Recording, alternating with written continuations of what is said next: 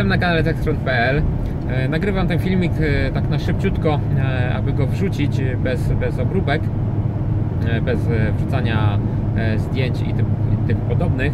Odnośnie ładowarki mm, z Biedronki, tej 12 amperowej. Jeszcze na początek dodam tutaj odnośnie ładowarki tej 4 amperowej. Mm, Sprawdziłem jak wygląda temat przy ładowaniu większego akumulatora. Ten tryb automatyczny. Tutaj dalej ta ładowarka zwiększa prąd e, do, do tych 4 amper, e, później je zmniejsza do 1 ampera i tak przez e, długi, długi okres czasu. Tutaj 40, k- akumulator 40, który tam pojemnościowo jest około 20 amperogodzin, ładowała się, uwaga, około 13,5 godziny. 13,5 godziny tak długo się ładowała. E, No szału nie ma. I co ciekawe, nie, e, ładowarka nie przeszła w ten tryb taki wyższego napięcia, tam 15-7 gdzieś, gdzieś, gdzie mi się udało, e, nie wiem, czy poruszyć przewodem, czy coś, że, że taki, takie napięcie wskoczyło. Po prostu naładowała do tych 14,4 tam czy z groszami i na tym się temat zakończył. Ale wracając do tej 12, 12 amperowej ładowarki. E, Tutaj tak samo jak w tej czwórce po naładowaniu akumulatora e, jest odłączenie, żaden tam prąd, e, żadnego tam prądu nie ma. Spadek napięcia do tych 12,8-12,7 V powoduje, że ładowarka ponownie ten akumulator sobie ładuje. To jest naprawdę fajne, jeśli byśmy chcieli po prostu te ładowarki wykorzystać e, do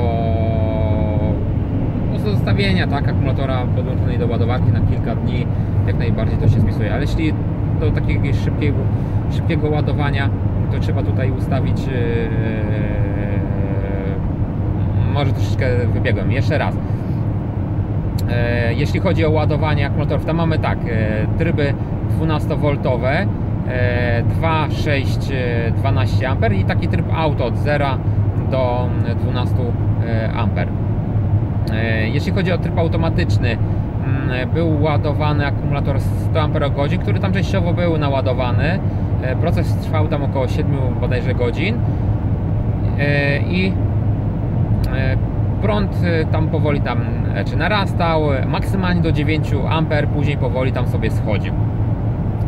E, Jeśli chodzi o ładowanie e, prądem 12 e, amperowym, to tutaj startuje 12 amper sobie e, ten idzie. Generalnie w przedziale 12 do 12,5 tak do- dochodziło. Napięcie końcowe tam jest, to był AGM akumulator i taki był ustawiony e, 14,4 i tutaj odłączenie tego, tego akumulatora mm, od ładowania. E, Co jeszcze e, w, tych, e, w tej ładowarce? Wspomaganie rozruchu. Niby 75 A tam możemy sobie wytargać z, tej, z tej niby z tego prostownika. Mi się udało gdzieś 50 55 i to tak dziwnie troszeczkę działa. Ja to zrobiłem tak, że mm, do akumulatorka 12 godzinnego, bo inaczej tego się nie da e, uruchomić, ale słońce daje. E, Podłączyłem właśnie ten prostownik, e, włączyłem ten e, tryb. Tam na początku po paru sekundach ta, ta prostownik daje 10 A i zaczyna później odliczać 30 sekund i tam daje ten, ten wtedy max. E, Ten akumulator 12, 12 była obciążona zasilaczem i dodatkowo elektronicznym obciążeniem, żeby tak doprecyzować ten gdzieś tam prąd obciążenia. I teraz tak, no, próbowałem tam 2-3 razy, ale ten maksymalny prąd, e, te, te gdzieś 55 A, no to coś może z tego akumulatorka szło. Tylko chodzi o to, że niestety ta ładowarka nie trzyma napięcia. Nie było tam, że 12V czy 13V daje e, ciągle i przy takim e, prądzie. Nie, no tam napięcie normalnie spada, tam 10 e, przy, przy takim obciążeniu prądowym. Nie wiem jak, jak to wygląda w rzeczywistości, jaki zamysł jest, czy może coś źle po prostu zrobiłem, ale ten prąd e, rozruchu to raczej e, takie no, wspomaganie gdzieś do tych 40-50 A, to wydaje mi się, że to jest, to jest jakiś tam e, maks. Co tam jeszcze jest? Tam jest niby taka funkcja test, testowania alternatora. Ja tego nie testowałem, ale w instrukcji przeczytałem, że po prostu to jest chyba pomiar tylko napięcia. Jeżeli jest napięcie w jakimś tam przedziale, no to, to wyświetla, że jest ok albo nie jest e, ok. Eee, podłączyłem jakiś taki śmietnik akumulator, gdzie miał niby napięcie tam 6 czy coś V, ale to była 12. Mm, I tutaj niestety mm, no, uaktywni się ten tryb próby odpalenia tego akumulatora, ale niestety po, po jakimś tam czasie niestety dał, no, no zrezygnował, tak? Nie udało się to tam tego, tego ruszyć, nie? Mała przerwa. Yy, Także może tutaj przy, przy jakimś większym e, e, napięciu akumulatora typu 8, 9 może by coś tam dało radę, jeśli, jeśli ten akumulator by jakiś ten prąd przyjmował. No niestety takiego akumulatora nie miałem, który by był tak e, rozładowany takiego napięcia, a prąd by przyjmował. E, Dobra, e, znowu muszę kończyć, e, zaraz e, rozpocznę sobie dalej tutaj e. Dobra, kontynuuję ten temat. E, ładowarka, no cóż, e, nie wiem czy czegoś nie, nie pominę. E, później może dopowiem do dru w drugim filmie, gdzie znajdą się te właśnie wykresy, czy jakieś tam zdjęcia do tej ładowarki.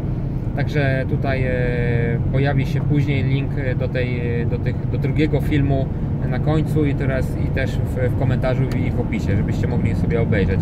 Oczywiście zapraszam też do subskrypcji żeby zostać powiadomionym o tym nowym filmie z tymi zdjęciami i wykresami.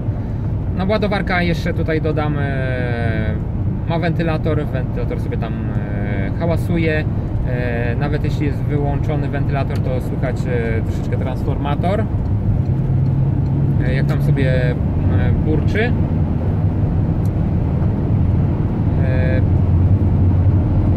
czy mogę tą ładowarkę polecić? No zależy kto, kto co oczekuje. Na pewno ta ładowarka gęstości elektrolitu nie zrobi w akumuulatorze takim zwykłym. Prąd ładowania, jeśli chcielibyśmy szybko naładować, no to ustawiamy sobie te 12 A e, tego, tego jakby ciągłego tego prądu, na pewno nie w tym automacie. Chyba, że nam się nie spieszy, no to w trybie automatycznym lub po prostu ten mniejszy e, prąd. A, jeszcze dodam, bo tutaj e, ładowarka ma funkcję e, zasilacza 13,6V on e, dosyć dziwnie działa. E, Próbując zmierzyć napięcie, jakie, jest, e, jakie daje, no to część, część urządzeń wariuje. Tutaj chodzi o elektroniczne obciążenie. Chciałem zobaczyć, jaka jest wydajność tego, tego zasilacza, niby tego, tego źródła na napięcia 13,6. Tam niestety no, no, wolty latały jak, jak szalone dopiero no oczywiście tutaj miernik jakiś tam e, profesjonalny bardziej e, no pokazał jakieś tam e, napięcie.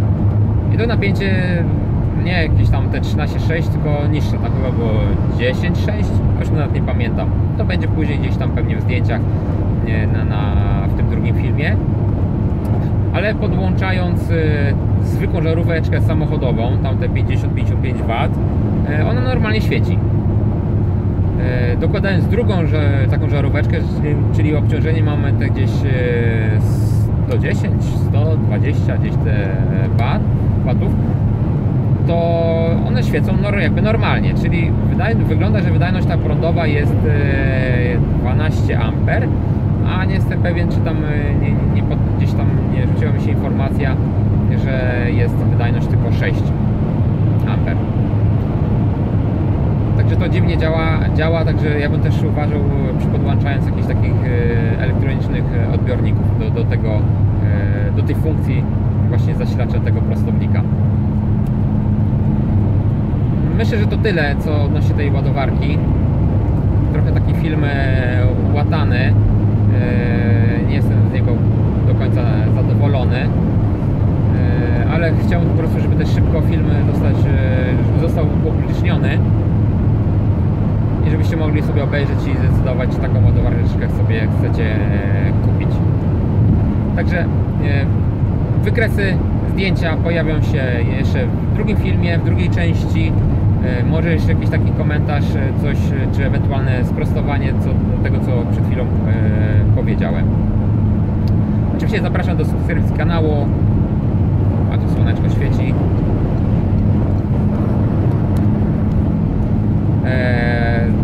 Pozostawienia jakiegoś komentarza, łapki w górę, jeśli chcecie, jeśli nie, to nie.